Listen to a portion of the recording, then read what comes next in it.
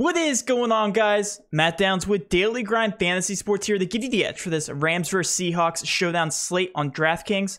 Cannot wait to break it down. If you guys are brand new to this channel, we provide both free and paid content for all daily fantasy sports across all sports. If you could please show your support by hitting that subscribe button, notification bell, and of course smashing that like button for all of our future NBA content. If you would like to know more about becoming a better DFS player and taking down that big GPP, head over to www.dgfantasy.com. On dgfantasy.com, we give you cheat sheets for every major sport, along with ownership projections, actual projections, and strategy for every single slate. We also cover optimal cash plays as well as preferred GPP plays and stacks for specific contest sizes. We do the dirty work for you. We are also currently partnered with Fantasy Cruncher, the best optimizer in the industry. When signing up for our $30 package, you also get a $20 credit to use towards any Fantasy Cruncher product. We provide the best value in the industry. And now let's go ahead and dive right into this NFL Showdown slate here with TJ back from his Yo. forever vacation, it seems like, or it seemed like. Uh, you missed the, the entire NFL slate out there catching rays on the beach. You actually look tanner. Yep. This is the first time I'm looking at you. Yeah, so, I do look nice. tanner, right? Nice, yeah. For the brand, Key, right? It's that Key West glow. It's that Key West file. Of course, anything Matt, looks still, more tan compared to me. So what? What's that? Right. I said still cashed on Sunday. Oh, did you? You my, actually played my drunk my drunk lineup. Yeah, yeah. I you didn't play Discord. Kelce. Oh, yeah. I'm assuming. Uh, I had one lineup. I actually made two cash uh, mm-hmm. lineups, which I know is, is, a weird thing to say, but one one with and one without Kelce. Both uh-huh. of them actually cashed. So yeah, I was gonna say because you left it, I think that's the reason why Kelce had the floor game. So now that you're back, he'll never have another floor game. Tyreek Hill will definitely not catch three touchdowns going forward. But Correct. we're here to talk about the showdown slate. You guys have been loving the showdown uh, videos. Mm-hmm. The last one that we put out, TJ, I don't know if you saw, we got 1.4k uh, views, which was actually the I like top, that. I believe, in one of our video or the, uh, any video that we put up for NFL season. So we'll continue this train. Um, again, we're covering every single featured showdown slate, and honestly, I've had more success on showdowns, like a lot more success um, mm-hmm. than the NFL main slates. Not that I've been doing bad on NFL main slates, but I've been doing so much better. I've had two back to back takedowns now. The last takedown I had, I technically lost money because I had a very chalky lineup. You're not supposed to do that, uh, but they got mm-hmm. first place, and I ended up losing money. Believe it or not, TJ, I don't, I don't get how that happens. It. it. was that big of a, a train of of this lineup that we had. But anyway, Talking about this slate here, the uh, Rams versus the Seahawks. It's a two point spread, a 54.5 over under, which I believe is the highest that we've seen on any or any showdown slate so far. Um, we start out by talking about the defenses, whether they're eligible for the slate or not. Um, the answer to this is going to be no. I, I have not felt more confident in saying no on on a defense making optimal. The only chance that this makes optimal is Russell Wilson goes out and throws back to back touchdown interceptions you know, to Jalen Ramsey. That's the only way this happens. It, it will not, again, and, and then Russell uh, Wilson will come back and, and, throw a couple more touchdowns. So this will be a shootout. Should be, it's a two point spread. Seahawks are at home. So this should be a very competitive game and should be a great one. This is a game that Seattle should come out and, and uh, they, they're going to give it their all here. Um, they did not get out to the best start to start the season. Like I said, going to be very competitive. Let's start out by going position by position. The Rams are where we're going to start here first with Stafford arguably has been better here to start the season than Russell Wilson. 11.4K, uh, showing the highest owned on the slate, TJ, for obvious reasons. A very I guess, uh, an average defense here on the other side of, uh, of uh, Seattle. Do you think he's cash viable? Yep. All right, moving on to the running do you want me to? Do you want me to continue, or is no. it just uh? Now it's yeah. matchup. It makes sense. What one thing I do want to say because you didn't ask me about what I thought about the matchup, you kind of just kept oh, talking okay. and disregarded my opinion. Um, no, but uh, Rams actually opened up as one point favorites. Eighty-one percent of the public bets are coming in on the Rams. The live line right now I'm seeing is two and a half. After they got decimated, huh? Of the Rams. Yes. Yeah. I mean, um, real, real quick. Yeah. Stafford looked fantastic against the Bucks. Um, kind of thought he was just going to annihilate every single team in secondary that he was going to be facing. Obviously, we know the Bucks secondary has been banged up and hasn't been this or that good to start the year. Looked human against Arizona. Um, so I expect a big bounce back game here against Seattle and a, and a pretty poor secondary. So yes, I do love Stafford for cash. Yeah, 11 4. Don't let that price tag fool you. He should be in the mm-hmm. optimal, assuming that this game script goes the way it's supposed to here. Switching over to the running back position, technically, Darrell Henderson. Oh, they actually removed the injury mm. tag. The last time I looked at this, he was questionable. He's good to go.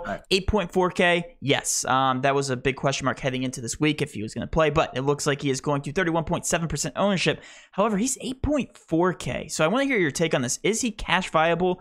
Do you prioritize him in cash here? I'm not prioritizing him in cash, but I, I don't hate if you're landing on him. Um, Pretty you know, consistent given here. yeah, given that he's healthy is great. Obviously, he had the rib injury. He missed week three. Came back in week four, Matt. We were a little uncertain if he was going to play. He played 90% of the offensive snaps. A lot. Um, did. So uh, that's really good. Uh, you know, Sony Michel obviously got the start week three, played 74% of the offensive snaps. We thought he might be a little bit more involved. Darrell Henderson banged up only 10% of the offensive snaps. Sony Michel saw. So uh, I, I do like Darrell Henderson. Honestly, the price tag is is really tough to to kind of swallow here at 8-4, but he's been very good so far to start the year. Um, looked good against Arizona in that game back. He uh, set 6.4 yards per carry.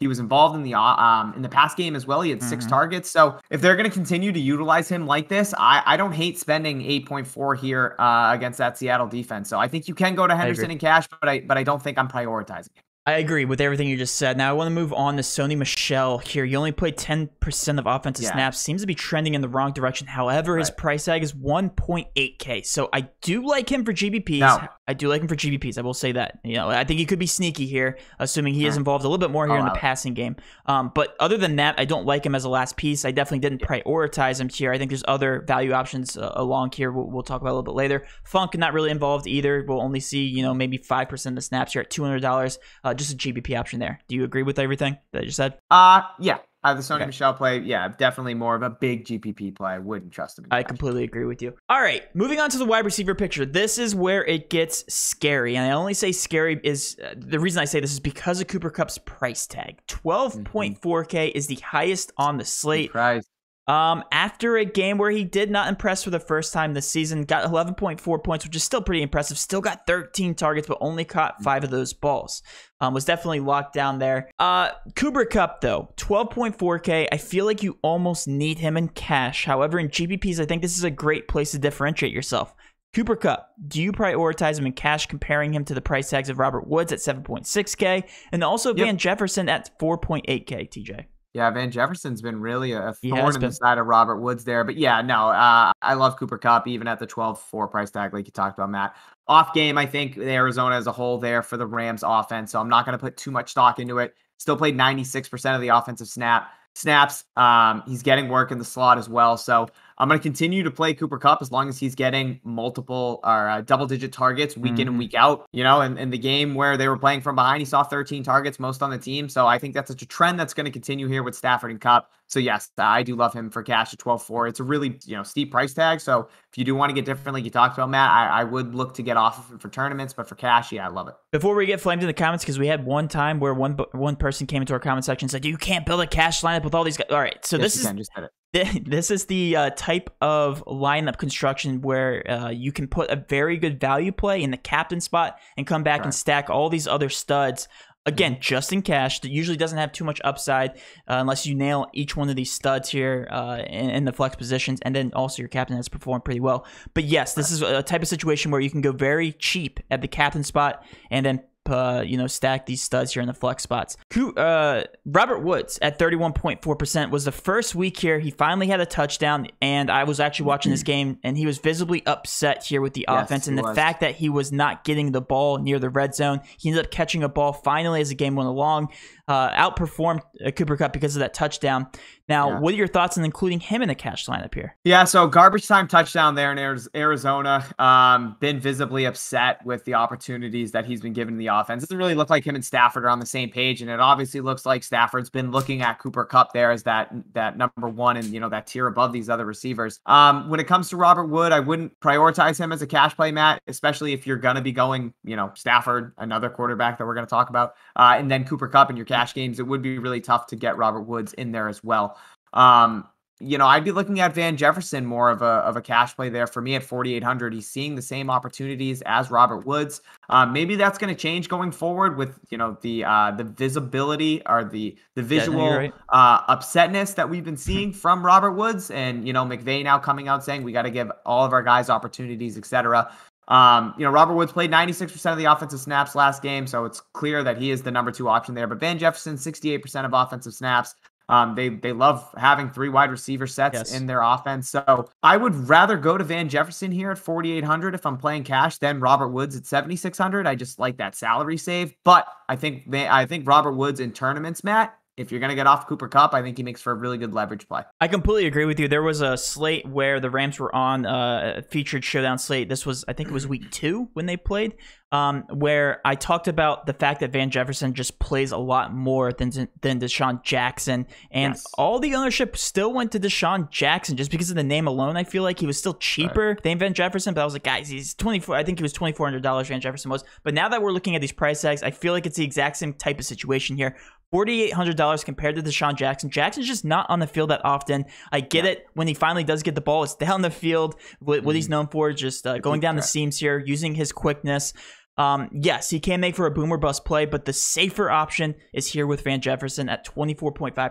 DeSean Jackson just for GPPs. All right, switching me over to the tight end position. Tyler Higbee, $5,600, has gotten on the field a lot, and I actually don't mind him for some mid range pricing. However, do you prioritize Tyler Higbee over somebody like Van Jefferson, TJ, at 22.7% uh, here in cash? He's tough. No, I don't. I don't believe I do.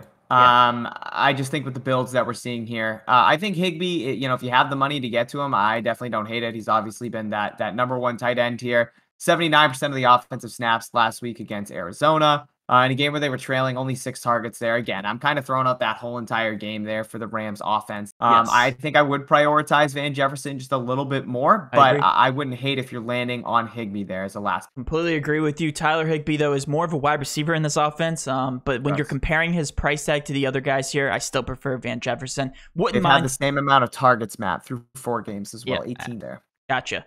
Yeah, Tyler Higbee definitely don't prioritize him, but I definitely don't mind him if I land on, on him in cash. I think he's more of a GPP option here. Switching over to the kickers, obviously always consider kickers as last pieces. $3,600 for Matt Gay. Definitely not that bad of a price tag. And absolute no to uh, the defense there Mm. for the Rams. All right, switching over to the other side of the ball. Jake Luton at $6,000. Are you prioritizing him, T- TJ, as Yes. a backup? I think Jake Luton is a fantastic play this week. All right, Russell Wilson, lock him in as the other options, specifically in cash, where they should be playing from behind here at home, maybe playing from ahead. I don't know, but Russell Wilson definitely gonna be throwing Still the ball a lot. 11.8K is technically, is he more than Matthew Stafford? He was 11.4. Yes, okay. So that's why Matt, Matthew Stafford's going to be a little bit higher on. But Russell Wilson, we know his upside, not only with his passing, but also can get it done on the ground. Um, do you agree? Cash priority? Yep. Yep.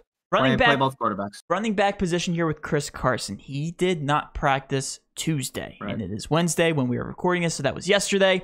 Um, still no update on today. However, He didn't practice today. Okay, so he's trending in the wrong direction. We don't expect Chris Carson to play, and this is where the value plays come out. Alex Collins.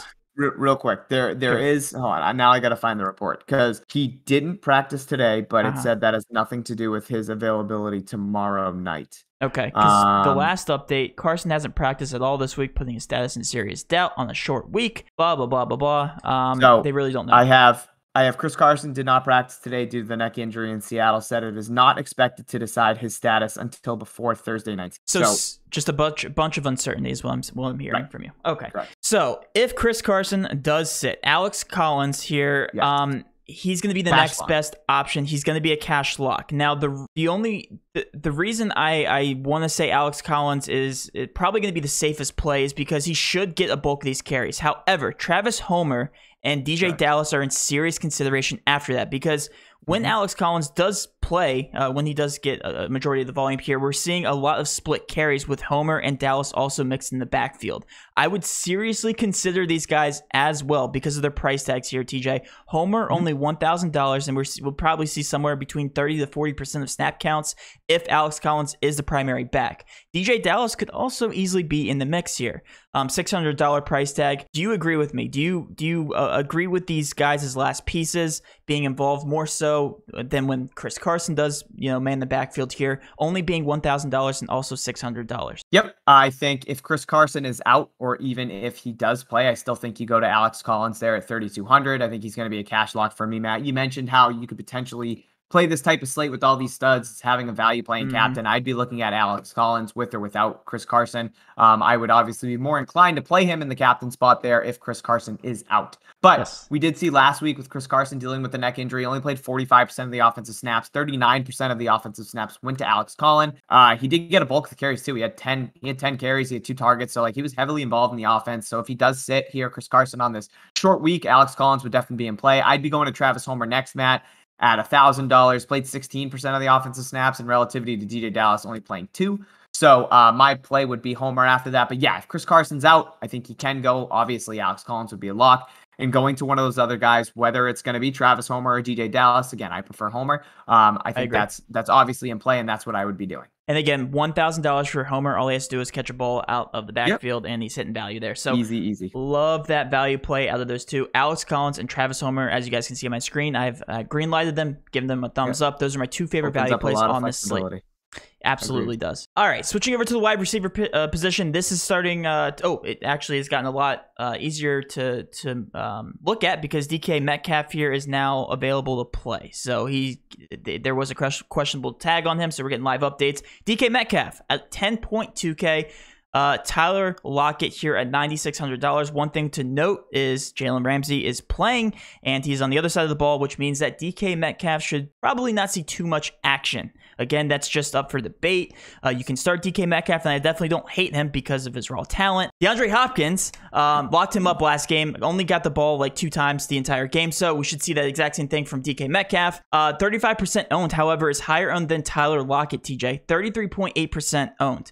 So, in your opinion, are you prioritizing Tyler Lockett over Metcalf if you are I, playing one of the two? Yeah, if you're playing one of them, yeah, I think it's a tough it's a tough call, Max. I you know I wouldn't be surprised if if if Russell Wilson really you know kind of takes on that DK Metcalf um, um, Ramsey matchup yes. and kind of goes at him. Uh, that wouldn't surprise me in the slightest. DK Metcalf just an absolute physical specimen here. But yeah, I, I think I would go Lockett. He's he's 31% of the routes that Lockett has run so far this year have come out of the slot which is second highest in the team behind Freddie Swain, who's obviously that number three wide receiver. Mm-hmm. Um, but yeah, I, I, think I'd rather go to one of those slot guys or somebody away from Jalen Ramsey personally. Right.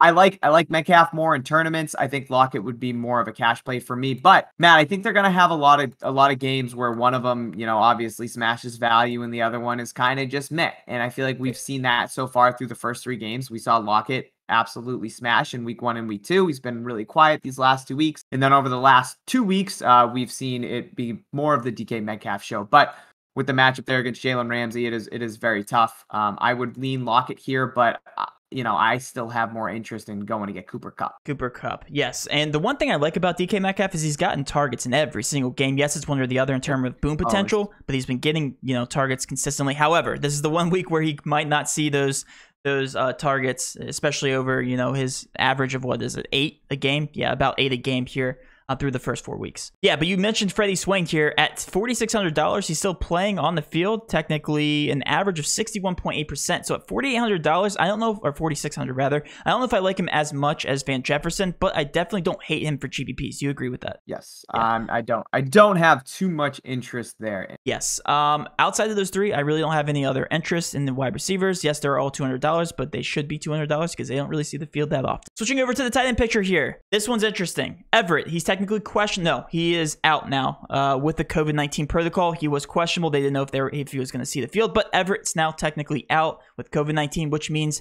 heavy dose of Will Dissly at thirty eight hundred dollars. Saw the field. I think it was eighty percent last game. Let me find him. Yeah, eighty two percent of the snaps.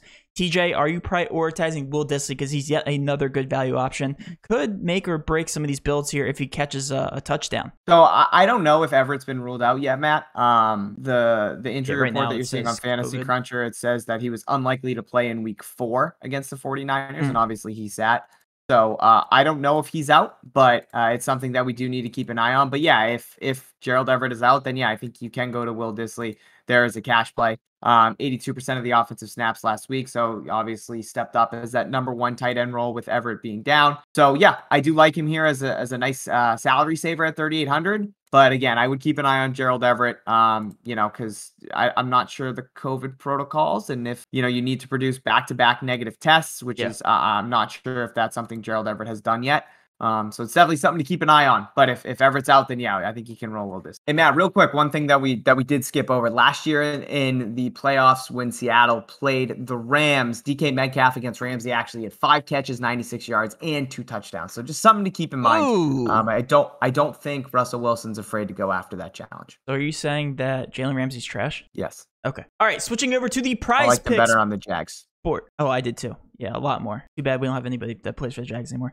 Switching over to the Prize Picks board here. Um, if you guys haven't signed up for Prize Picks, first of all, what are you doing? Enter code using DGF. What are you doing? For 100% match up to $100 helps us out, helps you guys out. You guys get a free $100 deposit into your account. It's one of the easiest ways to play DFS. You don't have to worry about a lineup. You just simply hit the over or under on any uh, certain fantasy point projection or player prop because TJ loves player props. I'm assuming he's going to be giving us one here in a second. But my favorite prize pick pick here on this board, uh, Cooper Kupp looks really, really soft here at 21. Um, we saw him only get uh, the ball five times last game, still getting to 11 points, and he still got targeted 13 times. That was the only time this season he hit the under of 21 fantasy points. This is the easily a better matchup. 21, as much as I uh, I want Robert Woods to get more involved in the offense, Cooper Kupp at 21 looks a little soft here. I, th- I expect this to be a shootout, and I love the over of 21 fantasy points. TJ. That's my favorite. I think it's the, okay. I think it's more uh, the, one of the more obvious plays here. I think it's going to be one of the more popular ones. That is, uh, but I think 21 is just way too low. All right. Um, I am looking at Darrell Henderson over 19 and a half receiving yards. I yes, I gonna... love these. Yep. I love these running backs out of the backfield that have the ability to catch, uh, especially in a shootout type game, which is something I think we could see here. I think as Darrell Henderson no longer carrying that rib that rib injury tag only solidifies the fact that he's probably going to be on the field 90 plus percent of the offensive snaps. Again, Matt, in a competitive game, 19 and a half receiving yards for a running back that's going to be on the field, given that many opportunities, way too low. So I love Darrell Henderson over 19 and a half receiving yards. There's just going to be a lot of passing in general for this game uh, between two very good quarterbacks here. But that will uh, wrap up our video, guys. Hopefully, you did enjoy this content. If you did, please do hit that subscription button, notification bell, and of course, smash that like button for all of our future NFL content. With all that being said, have a great rest of your night. Let's cash. Love you guys. Good luck.